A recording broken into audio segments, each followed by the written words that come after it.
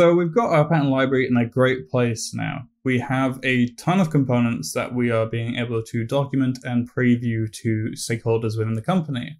The only issue at the moment is we have our pattern library on our local machine, and unless we give everybody access to our machine, they can't really preview what we've done. So fortunately, Storybook provides the option to statically generate our pattern library as HTML files, which can be deployed anywhere you want. So in this video, I'm going to be showing you how we can generate those HTML files before tapping into a external hosting platform, which will be Netlify, and using Netlify to continuously deploy our changes to the pattern library, allowing anybody with access to our Netlify URL to preview the components of our system. Before we can deploy our Storybook project, we first have to have a way of generating our static HTML files. Now, Storybook provides a really nice way to do this with a build Storybook command within our scripts files. So we can go ahead and copy this command, head over to our package.json file within our Storybook project, and create a new script called build Storybook. And we can go ahead and remove the optional parameters and just have it run build storybook for us. So now if I go ahead and stop my terminal and then run npm build hyphen storybook, what we should get now, oh, I didn't run build storybook.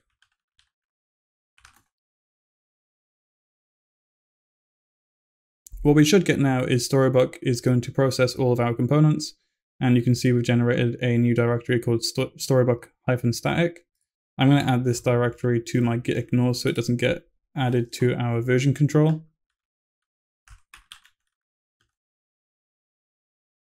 And if we have a look inside of this folder, we can see that it is generating a favicon and then some JavaScript files related to our project.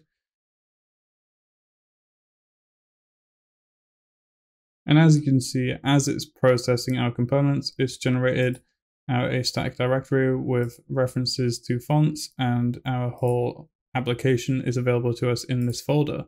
So now that we know that we have a storybook build script and we are outputting a folder, we can use this new configuration within our application to deploy a static folder to Netlify. So I'm just going to commit these changes.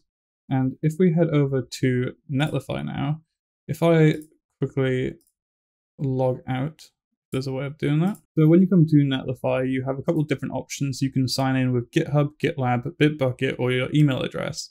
Now, as most of my repositories exist on GitHub, I'm going to be using my GitHub account to log in. So I'll skip to my dashboard because I don't want to show my password or email.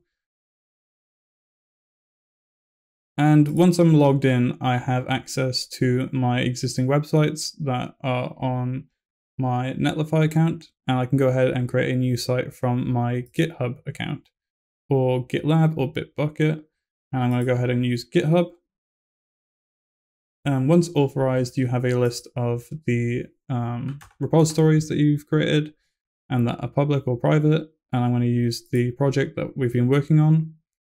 Now, when configuring Netlify to build for you, you'll need to use a build command and a publish directory. And we have these available to us with the npm run build storybook. So I'm going to go ahead and add that. And our publish directory was storybook static. And we can go ahead and deploy the site. So what we can do is we can go ahead and click on the, the deploy log and see it building our website in real time.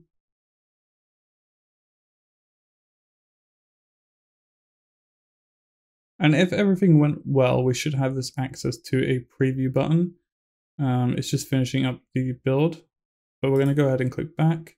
And it says that our site is deployed and we can set up a custom domain. But if we go ahead and just click on the Netlify domain we had, then it will now load up our new Storybook deploy. And this is available to anyone with the URL. And we have our pattern library published to the world to see. Now you can go ahead and set up your own custom domain, or you could even just modify the existing Netlify domain. So we're going to set it up as Storybook Atomic Design. And now if I save this, it'll use the new URL for us. So we have storybook-atomic-design.netlify.com. And we now have our website automatically publishing for us. So if we made any changes to our repository, it would automatically deploy a new build of the Storybook project for us. And so if we updated, say, the border radius on a button and then pushed it up as a commit, then Netlify will be listening to our GitHub repository for any changes. And when it detects that we have made a change to our styles, it will create a new build for us and our changes will be available to us from our Netlify URL. So that about wraps it up for this video. I hope you enjoyed.